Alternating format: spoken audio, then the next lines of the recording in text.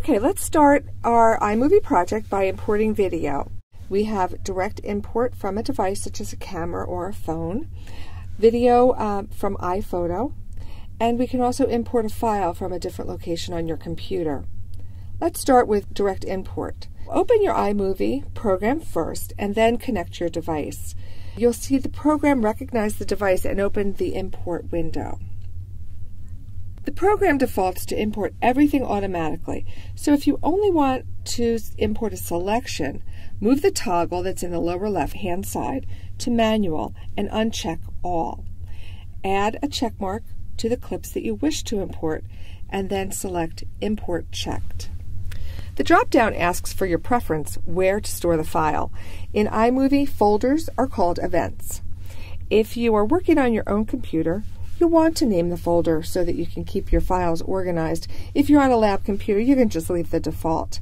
The next option is to choose whether to optimize the videos for large size. Now, if your recording is in high definition, the format many cameras and phones record in now, do check optimize. This um, reduces the file size without significantly losing quality.